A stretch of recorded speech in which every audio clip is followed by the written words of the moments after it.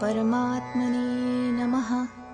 अध्याय चौदावा गुणत्रय विभाग योग। गुरुदेवांचा जय जयकार करून करतो त्यांचे गुणगान सूर्याच प्रकटन तयांच्यामुळे सर्वांच्या विसाव्याचे स्थान तुम्हा कारणेच आत्मज्ञान सृष्टीचे ते प्रकटन।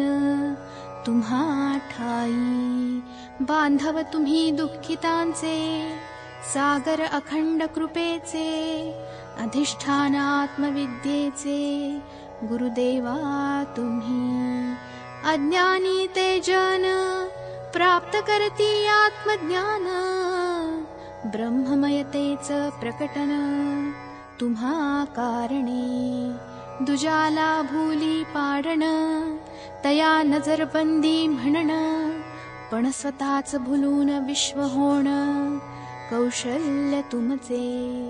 देवा तूच सर्व होतो. कोणा बोधतो देतो कोणा जन्म मरणात अडकवतो. माया तुझी पाण्यासी ते गोडपण देवा तुझ्याच पासून पृथ्वी क्षमाशील असण तुझीच कृपा. सूर्यचंद्राच तळपण ते तुझ्याच कारण. तयांच ते तेजस्वीपण कृपा तुझी. वायूचे ते चंचलपण देवा तुझ्याच कारण आकाशाच ही प्रकटन। तुझ्याच ठाई। तुझ्या कारणे मायेच प्रकटन। देवा तुझी ते ज्ञान। वेद ही जाती थकून। वर्णिता तुझला। जोवरी न होते आत्मज्ञान तोवरीच चालते वर्णन। मग पडे मुकेच ते होण पडता गाठ। जलप्रलय तो होता न लागे मोठ्या नदीचाही पत्ता। मग थेंबाचा तो राबता राही कैसे? सूर्य असे जे धवा उगवत चंद्रकाजवाच असे भासत तैसी सर्व शास्त्रांची गत ज्ञान होता जेथे द्वैतच नसे उरत निवैखरी परेत असे बुडत। ते अद्वैत का कधी येत? शब्दा माझी या कारणे आता स्तुती सोडुनी सर्वथा। चरणी ठेवणे माथा हेची भले असो तू कसाही पण मजसी ज्ञान दे भवचक्रातून बाने तारून मजला। आता कृपाती करून प्रकटू दे अंतरात ज्ञान। तेव्हाच माझे कल्याण होईल देवा। होता मजसी ज्ञान करीन संतांचे वर्णन। ब्रह्ममयताती पसरवीन। जगता माझी रहस्य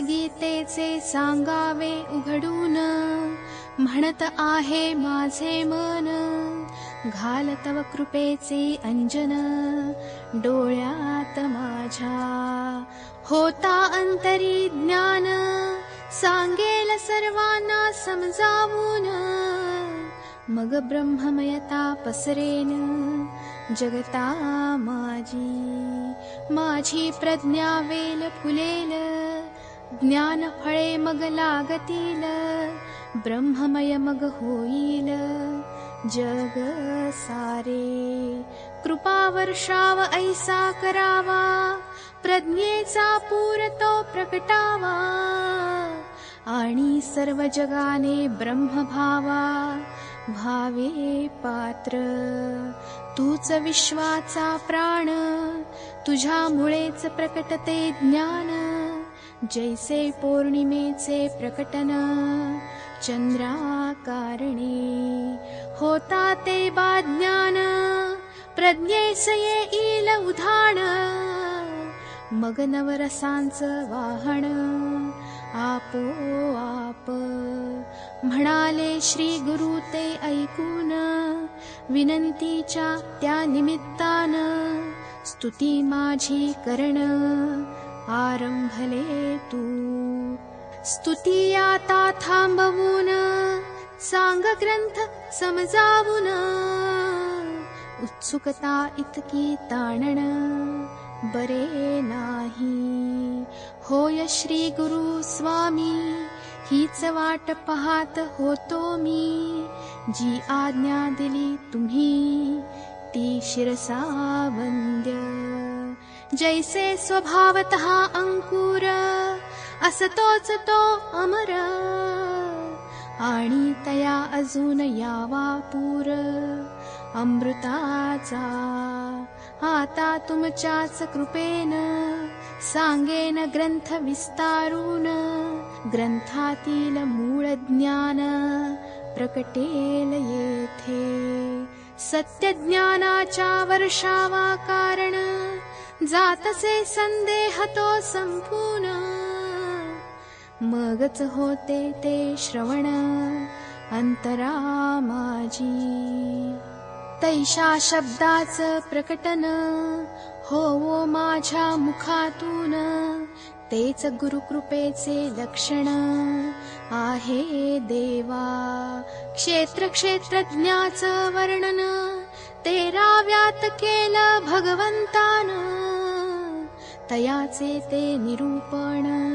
ऐकले तुम्ही क्षेत्र क्षेत्रज्ञ संयोगान होतसे जग निर्माण आत्मतत्व होते गुणांच्या कारण संसारी येथे सापडून प्रकृतीच्या तावडीत तत्व सुख दुःख असे भोगत स्वये असूनही गुणातीत कैवल्यते कैसा घडे असंगासंग काय तो क्षेत्र क्षेत्रज्ञ योग कैसे ते सुख दुःखादि भोग येती तया। गुणते कैसे किती? बांधती कवणे रीती? चिन्हेती काय असती? गुणातीताची। खुलासा या बाबींचा विषय आहे चौदाव्याचा. विचार गुणागुणातीताचा. ऐकाल तुम्ही. या सर्व बाबतीत भगवंत काय म्हणतात? मनासी एकाग्र करत ऐकावे तुम्ही. सर्वांगाचे करून कान जेव्हा प्रकटते अवधान अंतरी ज्ञान प्रकटते अर्जुना। करून अनेक युक्तिवाद मागे अनेकदा केले विशद। पण तुला काही बोध झाला नाही। श्री भगवानुवाच। म्हणून गा पुढती सांगेल बा तुझ प्रती जया वेद ते तर हे ज्ञान आहो स्वतःच आपण. पण मन इंद्रियांच्या नादी लागून परके झाले अगायाची कारणे हे सर्वोत्तम मी म्हणे. इतर भौतिक ज्ञाने अज्ञानच की. भवस्वर्ग खरे मानणे कर्मकांड ते करणे. द्वैत खरे वाटणे अज्ञान अर्जुना. ते सर्व भ्रम अज्ञान नष्ट होते या ज्ञानान जस आकाशात ते विरण वादळाच अर्जुना. जसा सूर्य तो उगवणे मग चंद्रलोप पावणे. जलप्रलयी नद्या गडप होणे तैसे अर्जुना. हे ज्ञान येता उदया इतर ज्ञाने जातीलया म्हणून बा ज्ञानासया म्हणावे उत्तम। अनादि जी मुक्तता आपली असे पांडुसुता। मुक्तीच त्या अनुभवता घडे मोक्ष येता या ज्ञानाची प्रचिती सर्व भोग विचार संपती मीपणाची ती स्मृती मावळते अर्जुना.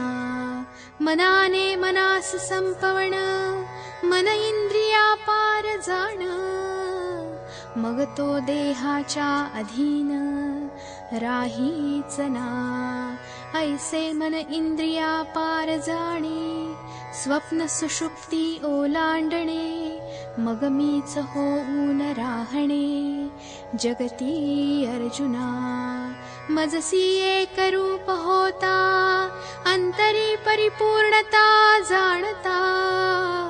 मीच होऊन राहता व्यथा कैची मी बा शाश्वत आनंद सदैव नित्य सिद्ध तेथे यामचात तो भेद उरेचिना मजसी ये ऊन मिळणे निमीच होऊन राहणे।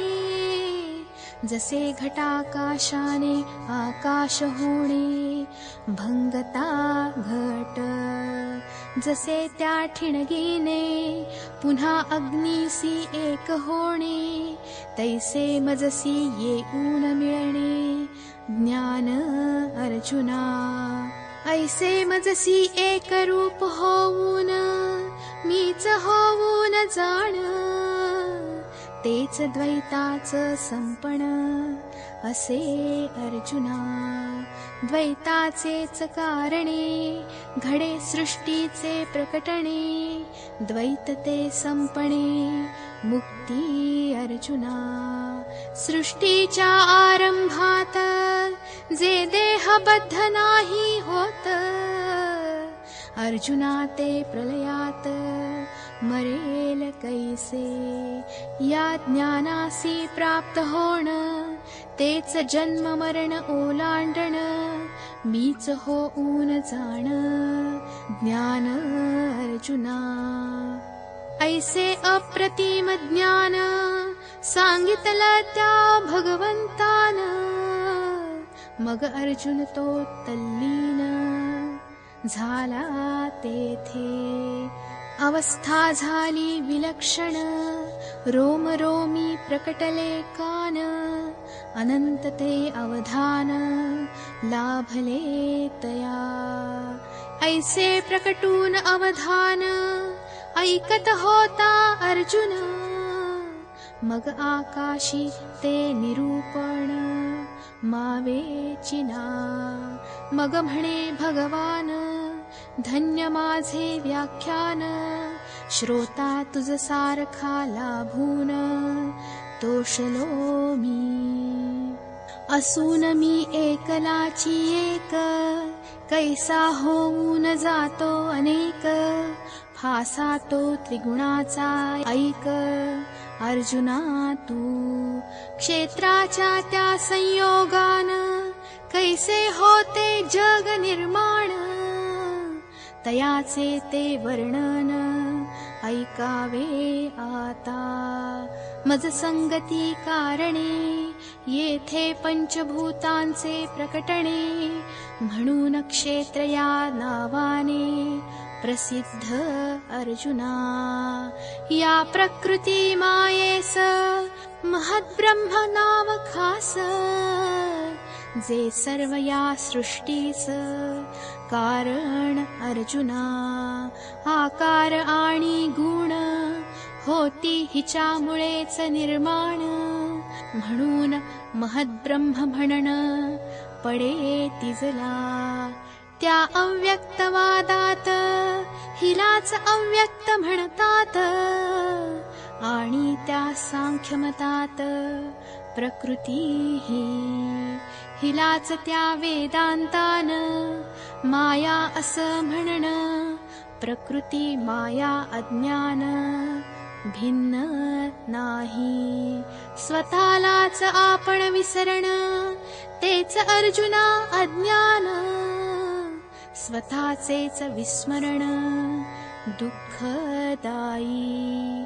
विचार असता मनात आत्मज्ञान नाही प्रकटत जसा नसे दिसत लावता दिवा। दूध ते ढवळता न दिसे साईचा पत्ता। पण दूध संथ होता प्रकटते साय। ना जागृती ना स्वप्न नसे स्वरूपाचे भान। ती सुषुप्ती बा असन ढगा जैसी होण्यापूर्वी वायू निर्माण जस आकाशरित असण तैसेच बा अज्ञान आहे अर्जुना जेथवा खांबका माणूस नाही दिसत डोळ्यास पण काही तरी भास होतो जैसा. ती वस्तू जैसी असे ती न दिसे आणि काय हे जे भासे कळे चिना धड अंधार तो नसणे नि प्रकाश ही न दिसणे। ते सांज वेळेचे असणे तैसे अर्जुना। ऐशा त्या दशेस अज्ञान नाव खास अज्ञानी गुरफटलेल्या आत्मतत्वास। क्षेत्रज्ञ आत्मस्वरूपास विसरणे हीच क्षेत्रज्ञाची लक्षणे आहेत अर्जुना। क्षेत्रज्ञाचे क्षेत्र बनणे तयासीच द्वैत म्हणणे सर्व हे नैसर्गिकपणे घडते अर्जुना. आता द्वैताच्या कारण वस्तूने अनेकत्व धारण करून स्वतः भ्रमित होण. अज्ञान अर्जुना जैसे राजाने भ्रमून मी भिकारी म्हणन. मूर्छितान स्वर्गा जाऊन येण तैसे अर्जुना ऐसे होता स्वरूपाचे विस्मरण घडे मनोभ्रमाच प्रकटन तेच बा सृष्टीचे निर्माण माझे ठाई. जसे त्या स्वप्नात आपणच बहुभूमिका असतो अनुभवत तैसे द्वैतभास प्रकटतात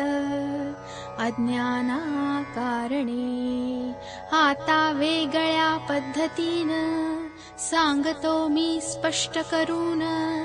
परी हे सर्व स्वप्ना समान मिथ्याच की। तरी माझी ही गृहिणी जी अनादी ती खाणी अविद्या होय। एक नसे हिचे रूप तिचा अमाप आहे व्याप राहणे अज्ञाना समीप स्वभाव तिचा जेव्हा मजसी निद्रा येते जागते. आणि सृष्टी निर्माण होते तिच्या पोटी. महद्ब्रह्माच्या उदरात विकार आठ उठतात मग गुण आकार प्रकटतात। ठाई। उभय संगू पहिले बुद्धितत्व प्रकटले। मग बुद्धि ठाई जन्मले। मन अर्जुना। मनाच्या त्या कारणे अहंकाराचे भासणे मग घडे तेथे त्या पंचभूतांच्या कारणे पंचेंद्रिये ती प्रकटणे आणि पंचविषयांचे असणे। सोबत त्यांच्या ऐसे विकारांच्या कारण प्रकटतात ते त्रिगुण। मगवासनेच जन्मण अनिवार्य तेथे जसे त्या बीजातून होई वृक्षाच प्रकटन। बीज पाण्याच्या भेटीतून प्रकटे वृक्ष। तैसे माझ्या संगाबरोबर प्रकृती निर्मिते संसार नाना गर्भाचे प्रकार अंकुरित होती. पुढे कैसे गर्भगोळ्यात रूपगुण प्रकटतात? ते सर्व साध्यंत ऐकशील आता. पहा अंडज व स्वेदज उद्भिज आणि जारज उत्पन्न होतो सहज जीव तेथे आकाशवायू संयोगान अंडजते उत्पन्न होण।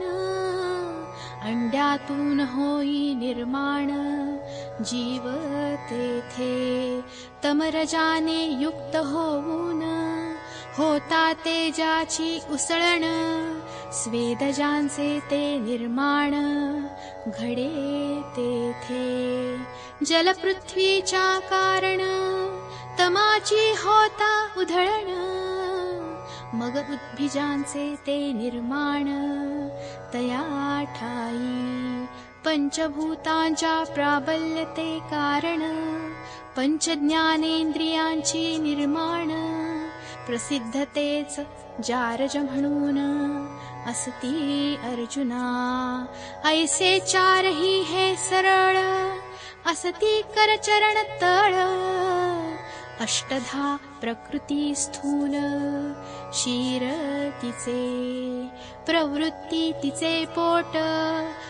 आणि निवृत्ती ती पाठ प्रकृतीची अंगे आठ असती अर्जुना। कण्ठतो स्वर्ग मृत्युलोक मध्यभाग पाताळ खालचा भाग आहे अर्जुना ऐसे लेकरू एक प्रसवली प्रकृती देख आणि तिन्ही ते लोक लागती नांदू. चौऱ्याऐंशी लक्ष योनी हीच हाडा पेरांची सांधणी. ऐसे वाढे प्रतिदिनी बालक येथे नाना देह बनून नामरूपाच प्रकटन मग नित्य नवे अज्ञान लागे फुलू। पहा सृष्टी वेगवेगळी नामरूपाने निराळी ऐसी अज्ञानाची झळाळी प्रकटली येथे ऐसे सर्व चराचर प्रसवून बालक सुंदर अज्ञानरूपी आकार नांदती येथे। ब्रह्मा तो प्रातःकाल विष्णू मध्यान वेळ सदाशिव सायंकाळ आहे येथे। महाप्रलय समयात विश्वलया असे जात पुन्हा विपरीत त्या ज्ञानात प्रकटते सृष्टी। अर्जुना ऐसे इया परी मिथ्या दृष्टीच्या घरी अज्ञान वृत्ती करी निर्मिती येथे संकल्प अज्ञाना कारण अहंकाराच प्रकटन केवळ सत्य ज्ञानान अंतयाचा। खूप बोललो मी बोली ऐसे व्याली तेथ साह्य झाली माझी सत्ता. या कारणे मी पिता महद्ब्रह्म हे माता अपत्य पांडू सुता विश्व सारे. नाना आकार पाहून नकोस तू भ्रमून सर्व विश्वते असन एकची येथे जसे एकाच त्या देहात अवयव निरनिराळे असतात। तसे एकचितत्वया विश्वात नांदते अर्जुना। असे एकाच त्या बीजातून लहान मोठ्या फांद्यांचे निर्माण। तसे सर्व विश्वाचे निर्माण तत्वाठाई आणि संबंध तो ऐसा मृत्तिका घटा जैसा वा संबंध कापडाचा कापसा तैसा अर्जुना। लाटा आणि सागर तैसे आम्ही आणि चराचर या प्रकृतीचा व्यवहार आमच्या ठाई मशाल आणि ज्योत जसे अग्नीच असतात तसा मीच चराचरात नांदतो अर्जुना। उत्पन्न होता जगत नसेच मी कधी लोपत माणिक का कधी तेजात विरघळतो अर्जुना धारण लोपते का सोन्याचे सोने पण का नष्ट होते कमळपण उमलता कळी. देही आणि देह भिन्न असती काय देही तोच देह जाण तू अर्जुना. जोंधळा वाढता जोरान मोठ कणीस ते पडण मग अधिक धान्य पिकण. तैसे अर्जुना मी आणि जगत भिन्न नाहीच बा असत. मीच असे नांदत होनी विश्व या सत्यज्ञाना प्राप्त हो अर्जुना जीवभावाच्या बंधना झुगारून दे। मीच सर्व आकारात अर्जुना असे राहत जे त्रिगुणाकारणे घडत अर्जुना येथे जसे स्वप्नी ते मरून आपणच आपले मरण भोगण आणि दुःख ते मानण तैसे अर्जुना. ग्रासता त्या काविळे रोगट होती डोळे मग जगत दिसे पिवळे तैसे अर्जुना. जसे ढगांच्या कारण सूर्य तो न दिसण तैसेच कार्य कारण घडे येथे. आपल्याच कारण सावलीच ते प्रकटन त्या सावली सबा घावरण अज्ञान की उपजता ते अज्ञान प्रकटती नाना गुण गुणाकारणेच बंधन दृढ होते. वाढता ते गुण वाढते ते अज्ञान ऐसे माझे मला विस्मरण होते अर्जुना. कोणत्या त्या गुणां कारण बद्ध होण ऐक कान देऊन अर्जुना आता हे गुण किती असती? काय तयांचे स्वभाव लक्षणे कोणती? ऐक आता सत्व रजतम तिघांचे हे नाम तयांचा तो जन्म प्रकृती ठाई येथे सत्वते उत्तम रजते मध्यम तमासी अधम म्हणती अर्जुना बालपण तारुण्य वृद्धपण एकाच देही आढळण तैसे हे तिन्ही गुण आढळती मनी. जसे धातू इतर मिसळता वाढते सोन्याची हीनता मग सोनेपणाची सिद्धता होतसे कमी. अवधानाचे कमी होणे तेच आळसाचे वाढणे सुषुप्तीचे मग पळकटणे. आपो आप तैसे अज्ञानाकारणे वृत्तींचे ते वाढणे मग सत्व रजतम घडे येथे। अर्जुना गाजाण यांचेच नाम गुण। आता पाहू ते बंधन घालती कैसे? येता त्या क्षेत्र दशेत मीच देह असं वाटत तीच अज्ञानाची सुरवात.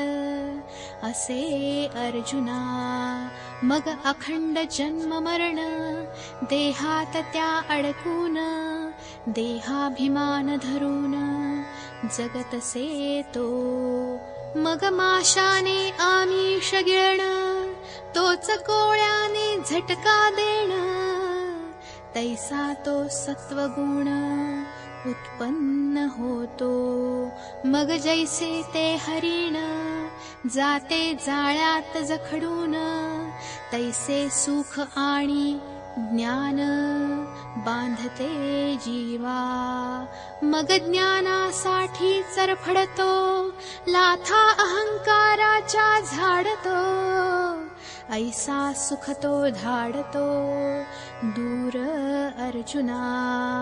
सन्मान होता प्राप्त होत असे तो आनंदित स्वतःला सुखी समजत भ्रमे माझ्या सारखा कोण आहे दुजा भाग्यवान? अशा अष्टसात्विक भावान फुगतसे तो. हे इतक्यावरच नाही थांबत. तया लांछन असे लागत. जेधवा विद्वत्तेचे भूत संचरे अंगी। गेले आपले मूळ स्वरूपते याचे दुःख न वाटते। छाती विषज्ञाने फुगते वढी। राजा जसा स्वप्नात भीक असे मागत आणि दिडकी होता प्राप्त म्हणे इंद्रमी ऐसे त्या देहातीताने स्वतःस देहवंत मानणे भ्रमिष्टपणे वागणे घडे तेथे। कुशल होतो व्यवहारात कर्मकांड तया आवडतात तया स्वर्ग ही असे वाटत ठेंगणा अर्जुना। मज वाचो कोणी नाहीच दुसरा ज्ञानी चंद्र जैसा गगनी एकटाच मी। एकटाच की। ऐसा सात्विक तो ज्ञानी जाई स्वरूपास विसरुनी। पहानंदी बैलावानी अवस्था त्याची आता हाच शरीर धारी तो रजोगुणे कैसा बांधला जातो सविस्तर सांगतो ऐक पुढे यासी पडे रजते म्हणणे याने जीवाचे रंजन करणे इच्छा वासना कारणे धडपडे जो. रजो गुण जीवात शिरतो मग जीव वासनामय होतो. आणि घोड्यावर आरूढतो वासनेच्या तूप टाकता अग्नीत निखारे तळपती धगधगीत जसे होमकुंड असे पेटत तैसे अर्जुना. विषयांची आवड असे वाढत मग दुःख ही गोड वाटत स्वर्ग ही होता प्राप्त वाटे अपुरा.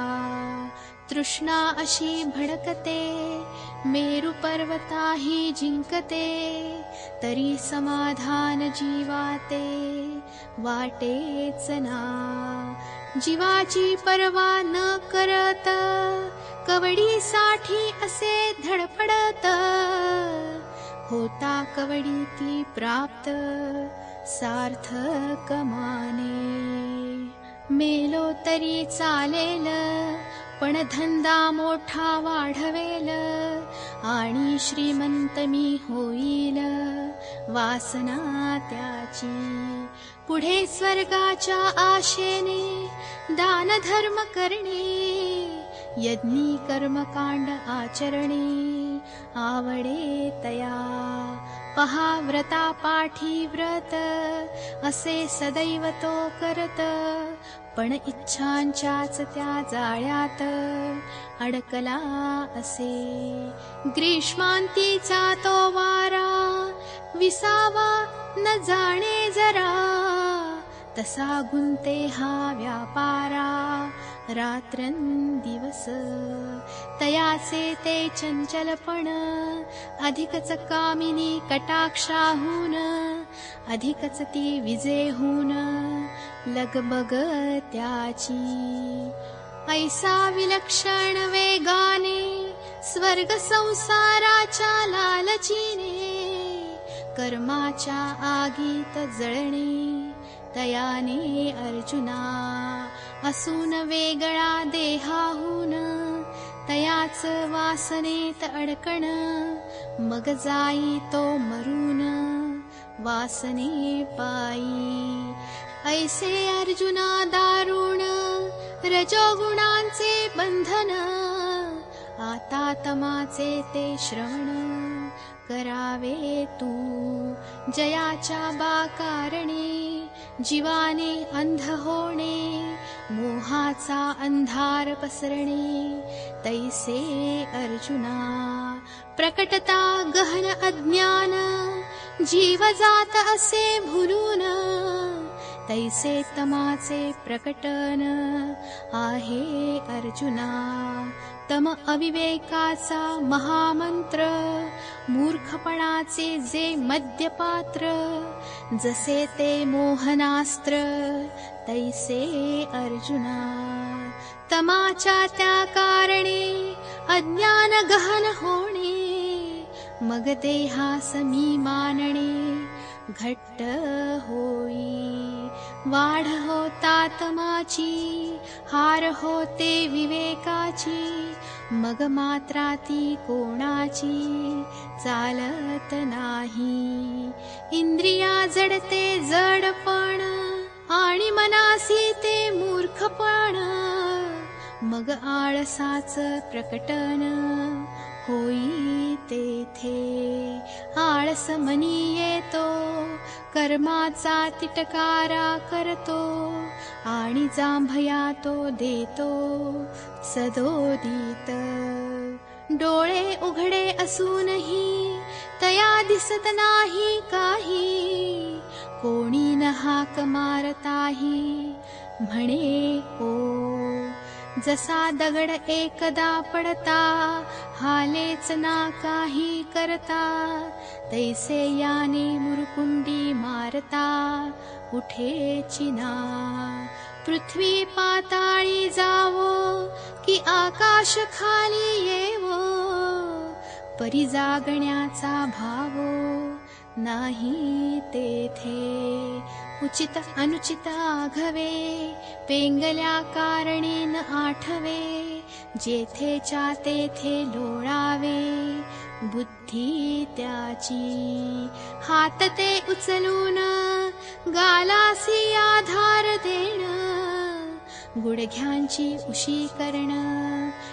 ठाऊक त्याला निद्रेचा इतका लळा की एकदा का झोपला मग स्वर्ग लाभ झाला वाटे तया.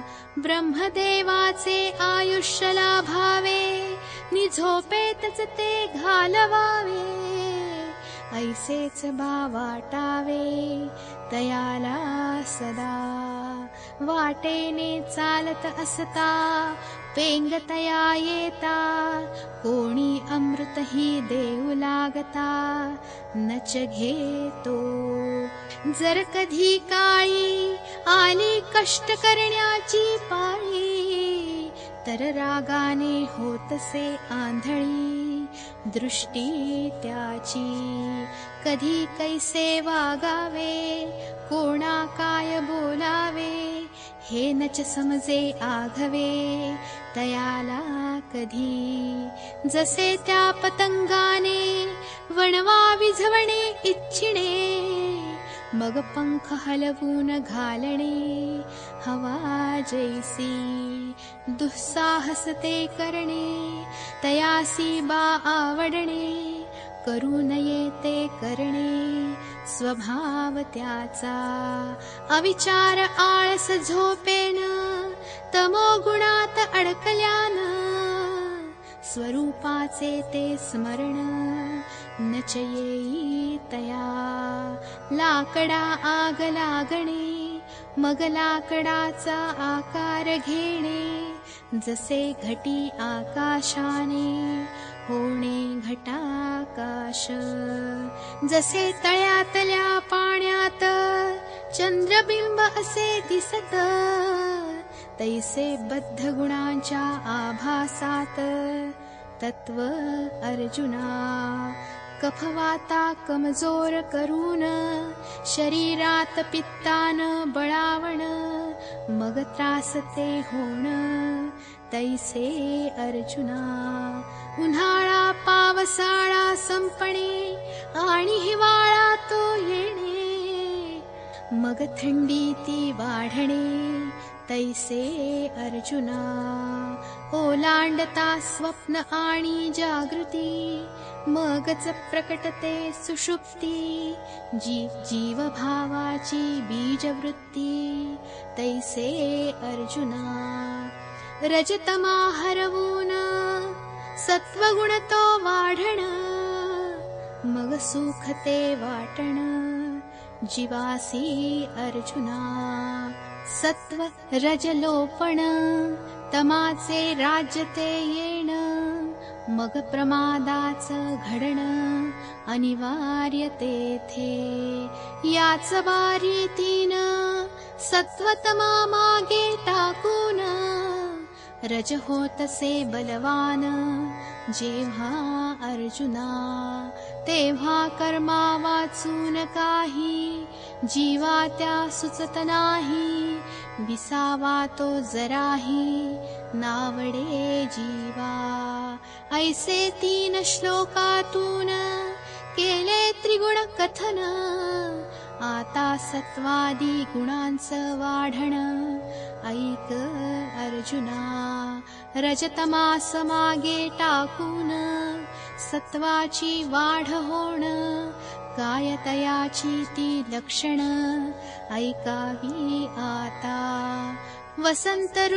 हंगामात सुवास न सामावे कमळात। तसे ज्ञान असे दरवळत चौफेर अर्जुना। सहाही घरात विवेक बुद्धी असे राहत आणि सत्कर्म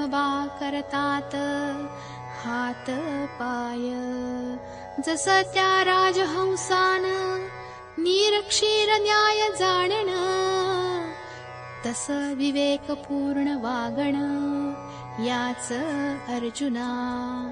जाणून पाप आणि पुण्य करती निर्णयते पारखून आणि इंद्रियांनी बा असण।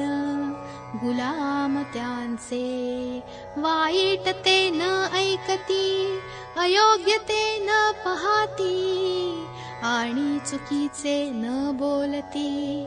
कधी अर्जुना जसा त्या दिव्याच्या समोर पळ काढतो अंधार तैसे निषिद्ध कर्मे पसार तयांचे ठाई जशी नदी त्या पावसाळ्यात तुडुंब भरून असे वाहत तसे सर्व शास्त्र जात तयांच्या मुखी। जसा पौर्णिमेच्या काळात पसरे चंद्रप्रकाश आकाशात तैसे ज्ञानाच्या त्या प्रांतात वासना स्थिरावतात आशेला ओहटी असे लागत आणि विषयाना असे विटत मन त्यांचे ऐसे सत्वगुणाचं वाढण आणि सत्वात होता निधन तयाचे मग कल्याण आप साजरा करण्या सण उत्तम पक्वान बनवण। आणि यावे आवडत्या पाहुण्यान तैसे अर्जुना घरात असावी संपत्ती मनी उदार वृत्ती मगलोक परलोकी कीर्ती आपो आप। ऐसे तयाच्या गुणांना तुलनाच नसे अर्जुना सद्गतीर्या सत्त्वसम्पन्ना नक्कीच की सत्त्वगुणाना घेऊन सोबत हा देह असे सोडत मग आपोआप कल्याण होत तयाच अर्जुना। ऐशा सत्त्वसम्पन्न स्थितीत जो सोडतो देह अकस्मात तोच पुढे असे जन्मत. ज्ञानी म्हणून जसे वैभव सोबत घेऊन राजाने डोंगरी जाण तरी काहीच ते उणे पण न येते तया. जसा या गावाचा दिवा शेजारच्या गावी न्यावा तरी दिवा या नावा पात्र तो तसे वाढता सत्वगुण प्रकटते ज्ञान विलक्षण मग दिसे विवेक आणि अवधान तयाच्या ठाई मग साधता घडे विचारांचं संपण संपूर्ण विचार जाता जिरून प्रकटते ज्ञान। छत्तीसा सदतिसावे चोविसा पञ्चविसावे तिन्ही नुरोनी स्वभावे। चतुर्थ जे असे जे ब्रह्मा सर्वात जे उत्तम तया सवे तो जन्म तयाचा अथवा हरवून बलिष्ठ होतो रजोगुण मग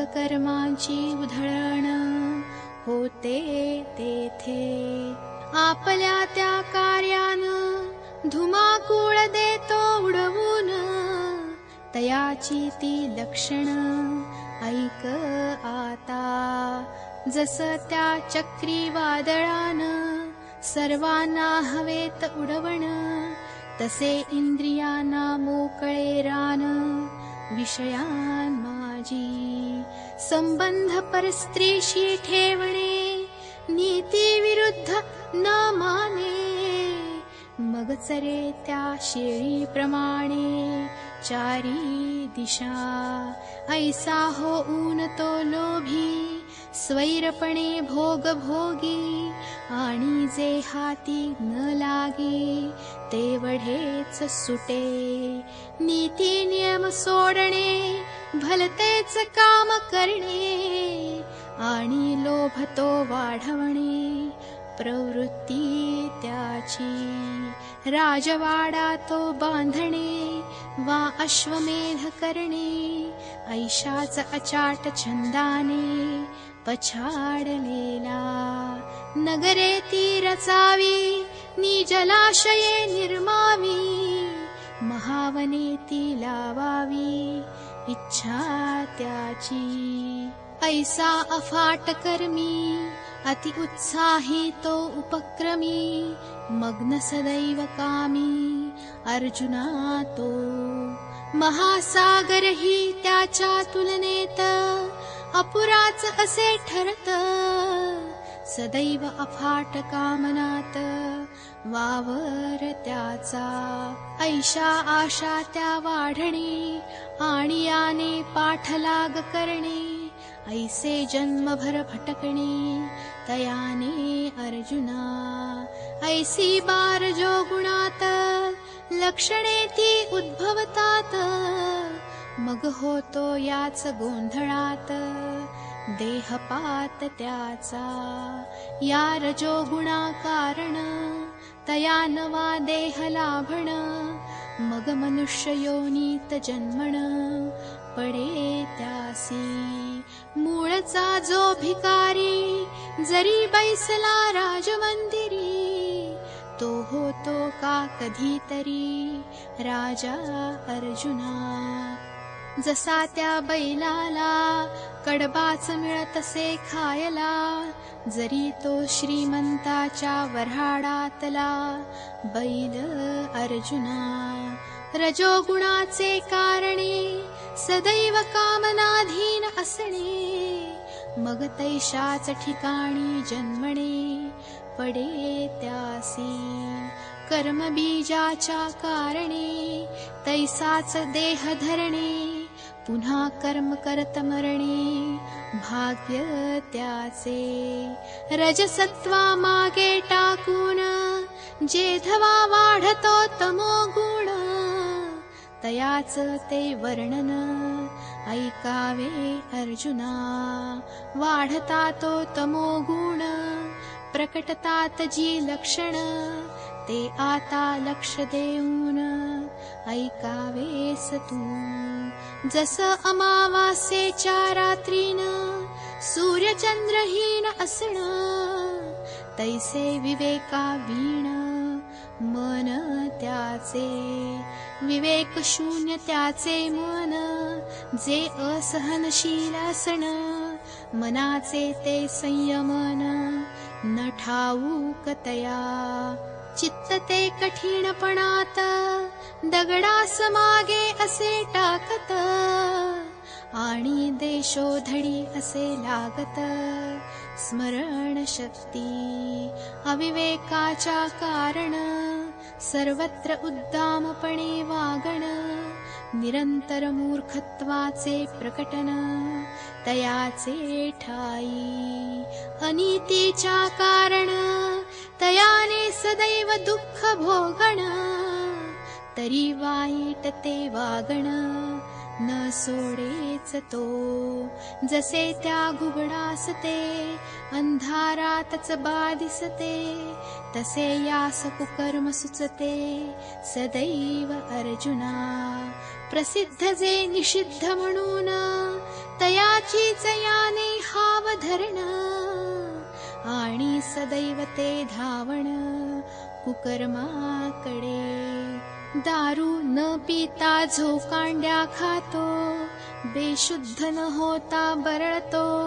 आणि कुकर्मी तो अडकतो मूर्खा परी चित्त नसतेच बा ठिकाणी परी नाही ते उन्मनी.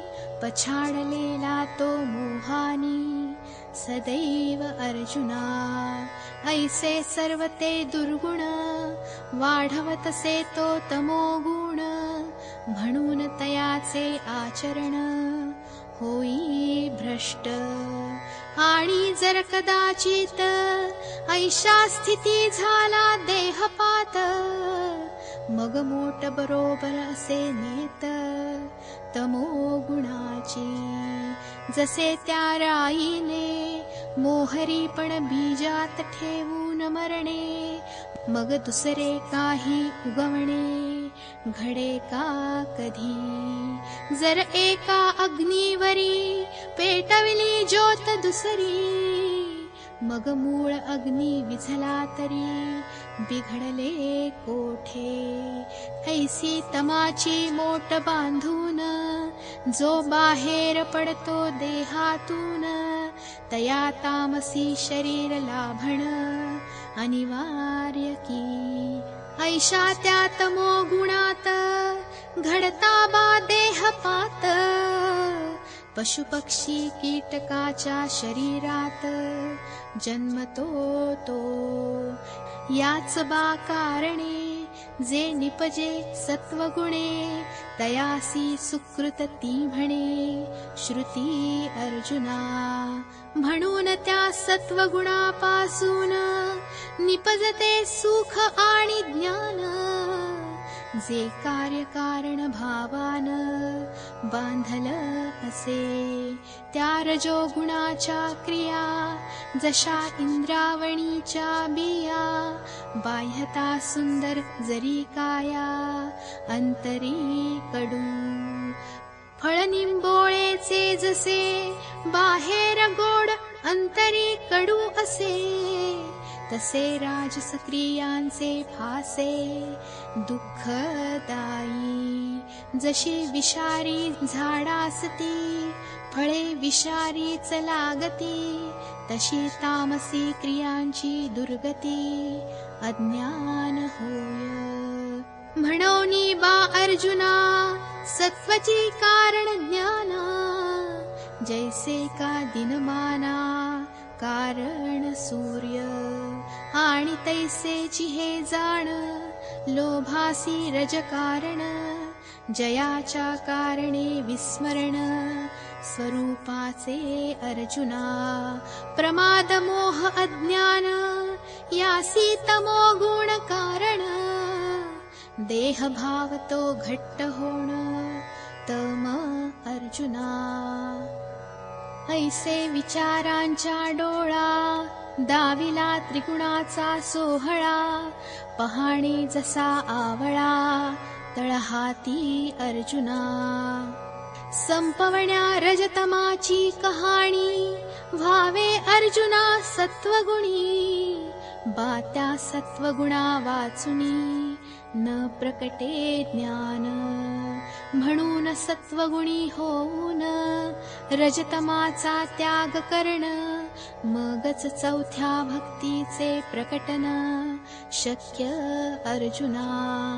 सात्विक त्या गुणात होता अर्जुना देहपात मग स्वर्गाच राज्य लाभत आपो आप। तैसे या रजो गुणात अर्जुना जे जे मरतात। मग जन्मती मनुष्ययोनीत मृत्यू लोकी। त्या मनुष्य जन्मात सुख दुःख अनुभवा येत आणि अंती मरावच लागत दुःखात अर्जुना आणि जे मरती त्यात मी मिळते तयांना नरक देती वेदती हमी याची अर्जुना. ऐसे त्या ब्रह्मापासून कैसे प्रकटती ते त्रिगुण सांगितले तुला समजावून अर्जुना मी त्या मूळ ब्रह्माच्या स्वरूपात फरक काहीच नाही होत पण कारण भावात भासती गुण। जसे आपण त्या स्वप्नात सर्व काही असतो होत स्वप्नी सुख दुःख जस भासत तैसे अर्जुना तैसे उत्तम मध्यम अधम ते मूळचेच बा ब्रह्म गुण आकारा कारणे भ्रम भासतो अर्जुना. किती वेळा करू कथन येथे काहीच नसे ब्रह्मा वाचून. पुन्हा तयाचे ते निरूपण ऐक अर्जुना.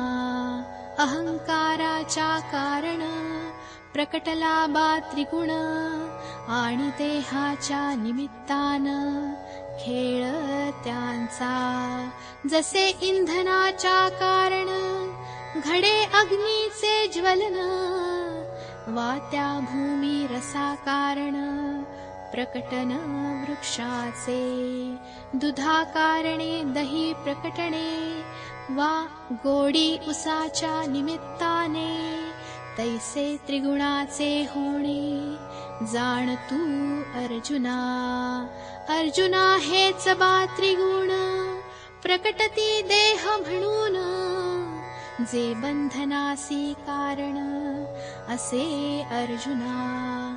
आश्चर्य आहे धनुर्धरा असो कितीही त्रिगुणाचा पसारा परी आत्मतत्वाचा गाभारा स्पर्शातीत.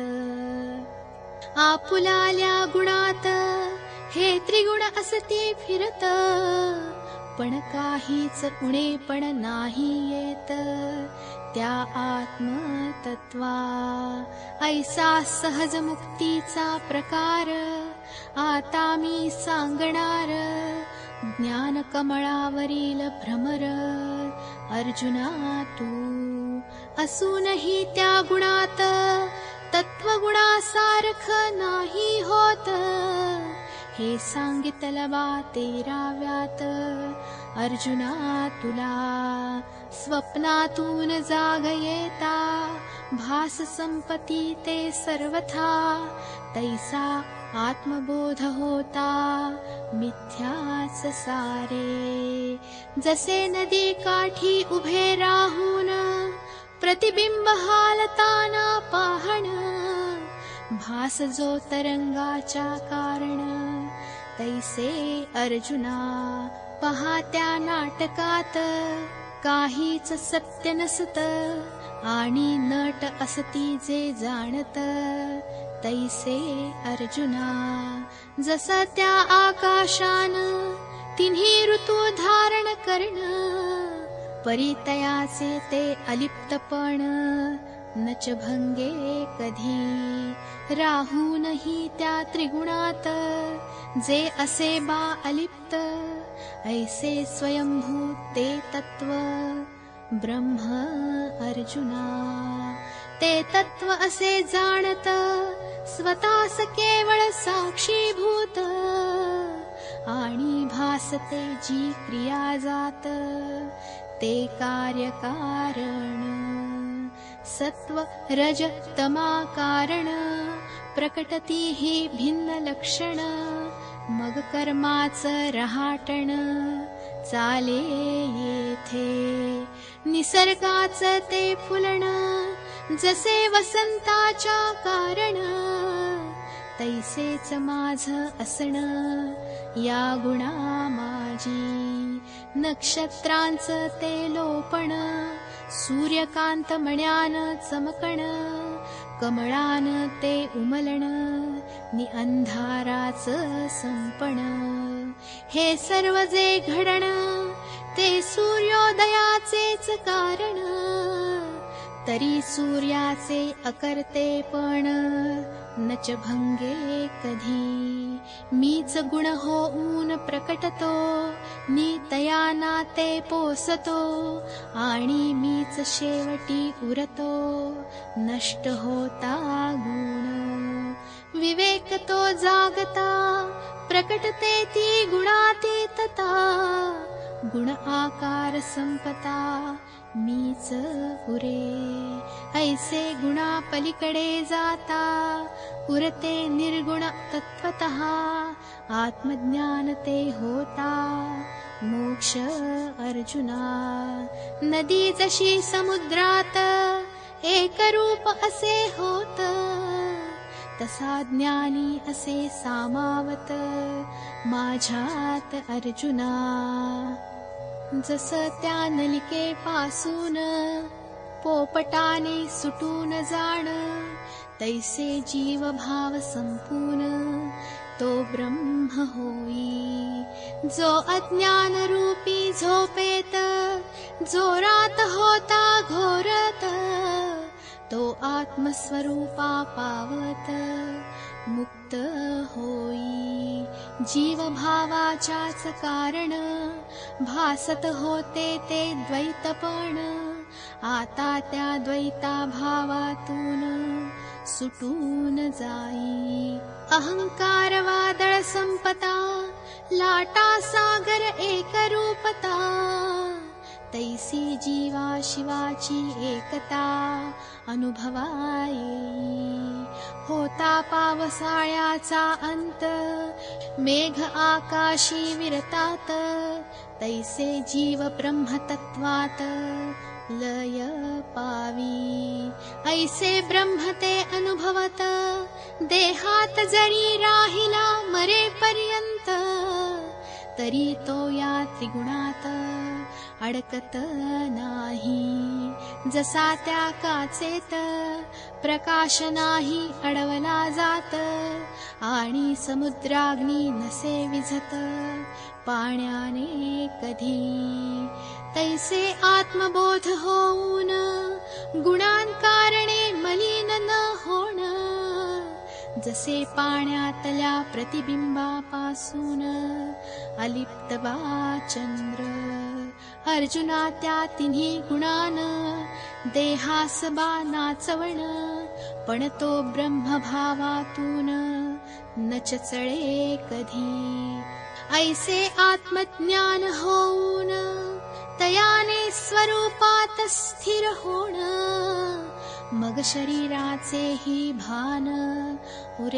ना.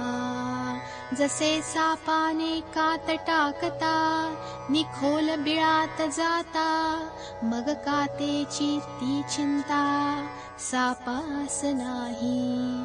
जेव्हा कमळते सुकत निसुगंध विरे आकाशात मग सुगंध परत कमळात परतत नाही तैसे ब्रह्ममय होणे जे देहमनाचे विसरणे मग गुणांचे हे खेळणे थांबून जाई म्हणून जन्म जरा मरण जे देहाचे सहा गुण ते जाती बा विरून ज्ञान होता जसे घट जाता फुटून घटाकाश महदाकाश होण तैसे जीवाने ब्रह्म होण। आहे अर्जुना तैसे जीव बुद्धी संपूर्ण आत्मतत्वी एकरूप मग आत्मस्वरूपा वाचून न आठवे काही। ऐसा होऊन आत्मबोधयुक्त असे देही तो वावरत। तया म्हणून गुणातीत म्हणतो आम्ही। या देवाची बोला अर्जुन अति सुखावला। जसा मोराने आमंत्रिला अर्जुना मेघ अर्जुन उवाच मग संतोष तो पावून विचारता झाला अर्जुन सांगावी देवा लक्षण ज्ञान्याची आता. तो निर्गुणात कसा वावरतो निगुणातून कसा सुटतो कर सविस्तर खुलासा तो भगवंता आता अर्जुनाचा प्रश्न ऐकून मग म्हटल भगवंतान तुझ्या शंकेचे निरसन. ऐक आता. पहा पार्था तुझी नवलाई. तू भलतेच विचारले काही. शब्द गुणातीत पाही लटिकाच. असता अर्जुना आचार तो गुणातीत कैसा खरोखर? म्हणून गुणातीत शब्द वापर. लटिकाच की त्रिगुणी शरीरात राहून त्या त्रिगुणात न सापडण. अशक्यच हे घडण वाटे तुझला. जी शंका तुझ्या मनात तेच आता मी असे सांगत मनते एकाग्र करत ऐकावे आता. वाढता रजो गुण चित्ती कर्माचे अंकुर उगवती निलोभाची ती प्रवृत्ती वाढते मग. पण मीच कर्म असे करत असा गर्व नाही उरत तया वाईट नाही वाटत अपयश येता अथवा वाढ सत्वगुणाची होऊन ज्ञान तेज सर्वत्र पसरण. तरी मनी ज्ञान अभिमान आढळेच ना. अथवा वाढता तो तमो गुण तयाने मोहापळी न पडण कोणत्याही त्या कारणान? न च भ्रमेतो. करण्याज्ञानाचा प्रसार नाहीच बातो तत्पर. सत्वाची होता हार न दुःख तयासी. सकाळ दुपार रात्रीच भान जसे सूर्याला नसण तसे कोणतेही कारण न हालवे तया। भरती येण्या सागरास जसा न लागे पाऊस गरज तशी ज्ञान्यास नसेच कशाची।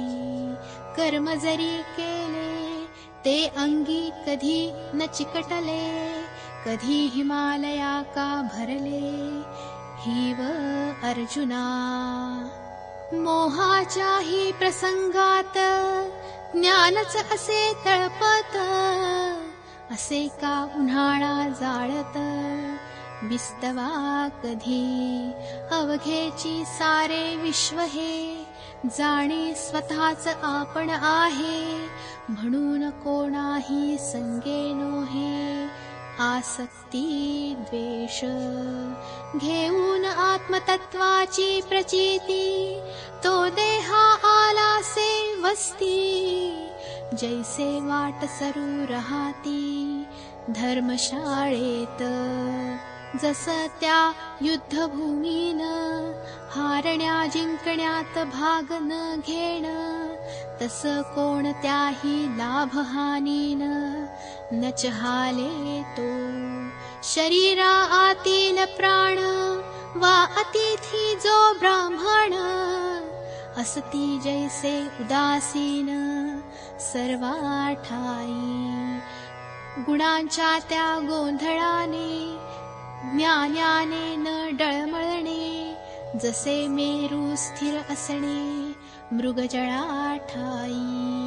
बहुत काय ते बोलणे आकाश का हाले वाऱ्याने वागिळले का अंधाराने सूर्यासी कधी जसे स्वप्नाची ती गत जागता अर्थ नसे उरत तसे ज्ञानी न बांधले जात गुणानी अर्जुना गुणांमुळे नसे तो फसत तटस्थपणे असे अनुभवत जसे प्रेक्षक असती पाहात खेळ बाहुल्यांचा सत्वाकारणे सात्विकता रजाकारणे कर्मठता तमाकारणे अज्ञानता जाणे तो अंतरी। गुणांचे हे वावरणे त्या आत्मतत्वाच्याच कारणे पहाणे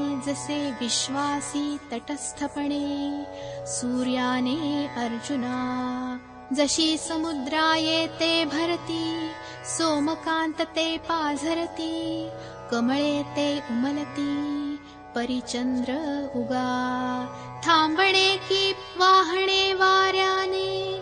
तरी आकाश निश्चल असणे।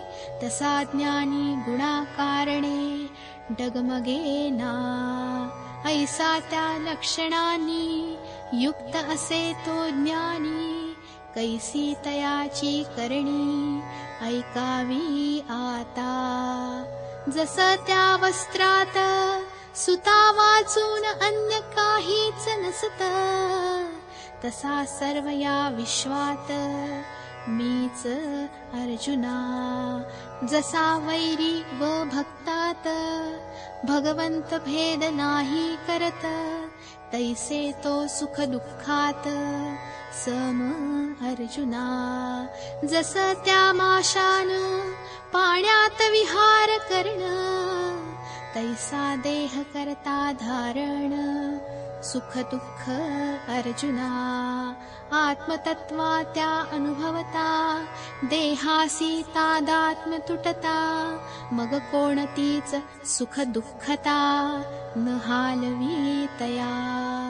जस बात्या नदीने सागरी मिसळून जाणे मग खळबळीचे थांबणे अनायासे तैसे आत्मतत्व अनुभवता तादात्मजीवासी तुटता सुखदुःखाची ती वार्ता न चौरे तेथे रात्र आणि ती प्रभात खांबासी सारखीच असे वाटत तैसा द्वन्द्वाचा अतीत ज्ञानी अर्जुना झोपलेल्या मनुष्याशी सापतैसी उर्वशी तैशी त्या आत्मज्ञान्याशी द्वन्द्वे अर्जुना शेण आणि सोन गार आणि रत्न दोन्ही बा समान ज्ञानी यासी घरी स्वर्ग सुख येणे वा हल्ला वाघाचा होणे तरी कदापि न ढळणे याची ब्रह्मस्थिती. मेलेले नाही उठत आणि भाजलेले नाही अंकुरत तशी समता नसे ढळत तयाच्या मनी. तैसे स्तुती वा निंदेने याने कदापि न ढळणे जसे नाही जळणे वा विझणे राखेच्या ठाई होता निंदा स्तुतीचा वार ज्ञानी समच राहणार. आढळे का कधी अंधार सूर्याच्या ठिकाणी. ईश्वर म्हणून पूजिता का चोर म्हणून दंडिता वाघानेही वेढिता समबुद्धी। शत्रु असो वा मित्र हा समची सर्वत्र। जशी पहाट आणि रात्र सूर्या नाही। घडो ऋतूंचे येणे जाणे परी अलिप्त आकाशाने राहणे तैसी विषमता न जाणे मन कधी? आणिक एक लक्षण तया ठाई दिसण तो कर्मेही ती करून अलिप्त राही। अवधानी कर्माना भोगून टाके तो संपवून अंतरी कर्म बीजे जाळून खाक करी सर्व अनुभवात।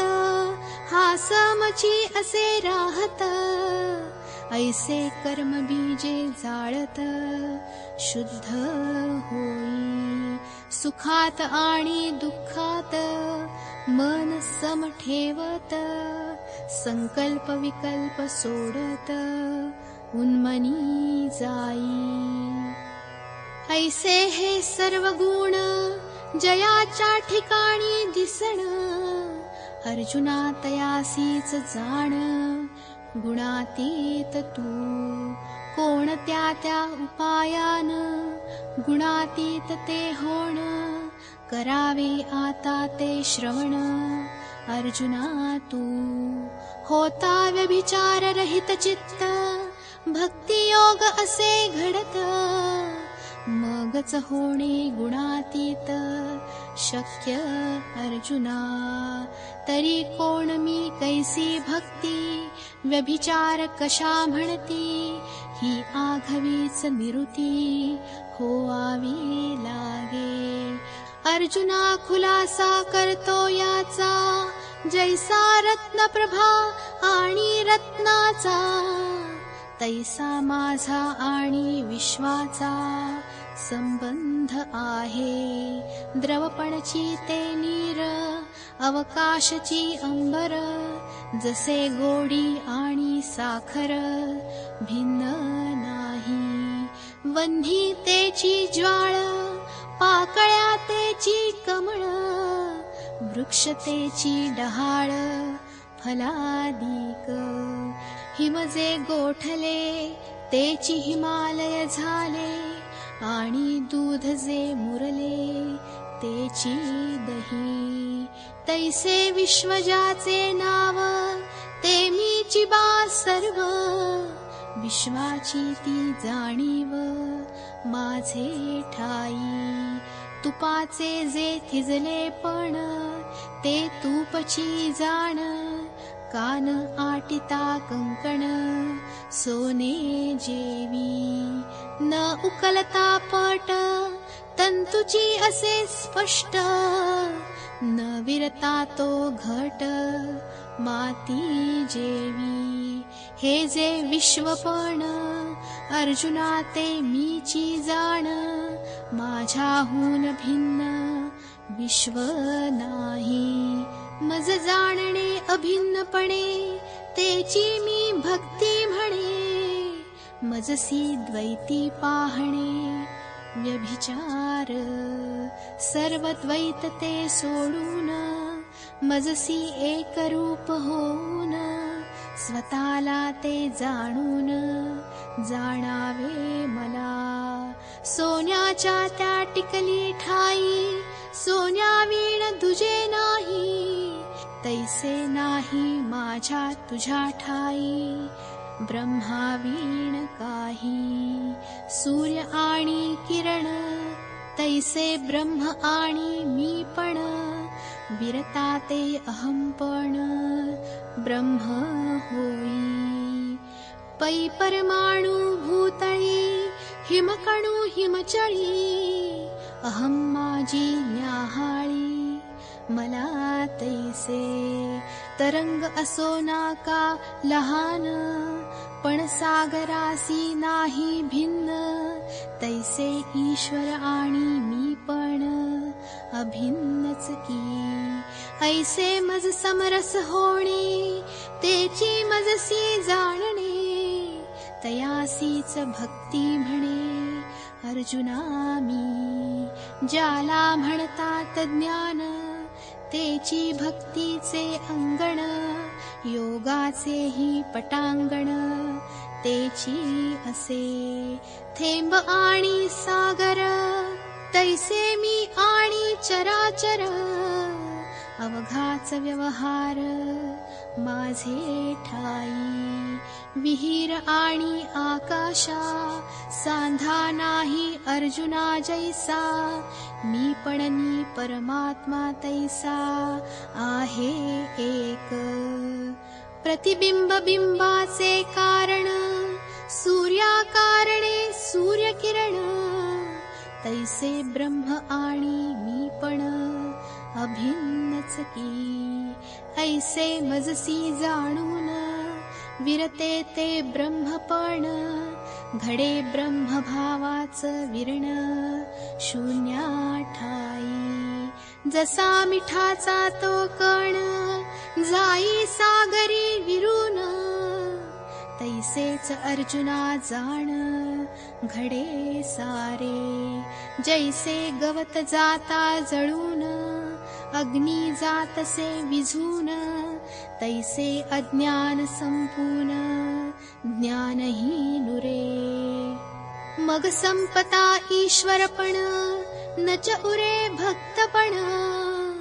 जे ऐक्य आहे जाण अनादि अर्जुना ऐसे ऐक्यते घडता प्रकटते गुणातीतता मग गुणांची ती वार्ता उरत नाही.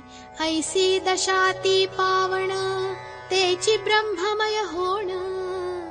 अर्जुना तयासीच भजन म्हणतो आम्ही. ऐसे हे ज्ञान अंतरी बाजाणण तेच ब्रह्ममय होण. असे अर्जुना जसे त्या गंगेने सागरी एक रूप होणे तैसी ब्रह्मासी पावणे आहे अर्जुना. ऐसे प्रकटणे ज्ञान तेची माझी सेवा घडण मजसी एक रूप होण भक्ती आहे. ऐसी ही ब्रह्ममयता जिचे नाव सायुज्यता जो पुरुषार्थ चौथा आहे अर्जुना ब्रह्ममय होणे तेची मजसी आराधणे नाही कोणत्याही साधनाने प्राप्ती माझी. ऐशाया ज्ञाना प्राप्त होता अर्जुना जीवभावाची विवंचना सरून जाई। जया ब्रह्मबा मीची असे असत। आत्मा चैतन्य म्हणतात अन्य काही। चंद्रप्रकाशनी चंद्रमा दोन नसतीच सुवर्मा। तैसे मज आणि ब्रह्मा भेद नाही अगानित्य जे निष्कंप अनावृत्त धर्मरूप अनंतनी अमाप ब्रह्म अर्जुना। विवेकाचा कारण सर्व कामना सोडून ब्रह्ममय होण ज्ञान आहे। ऐसे हे विवेचन केले पहा भगवंतान आणि तो अर्जुन ऐकत होता तेव्हा तेथे संजयाला धृतराष्ट्र म्हणितला। तुझ्या या ज्ञानाला मी पुसले काई दूर कर माझी चिंता सांग विजयाची वार्ता। बंद कर बाता ब्रह्ममयतेचा नवल वाटून संजयाला स्वतःशीच उद्गारला भगवंताशी पहायाला द्वेष आहे.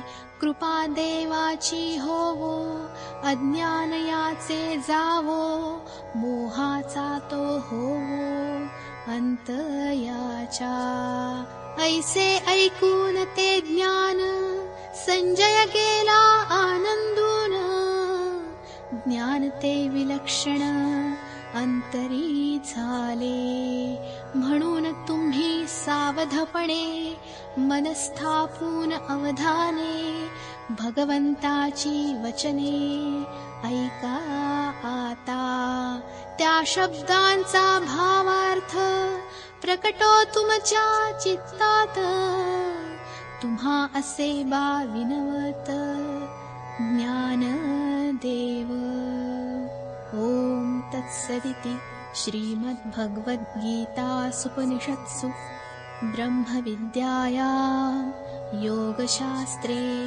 श्रीकृष्णार्जुनसंवादे गुणत्रयविभागयोगो नाम चतुर्दशोऽध्यायः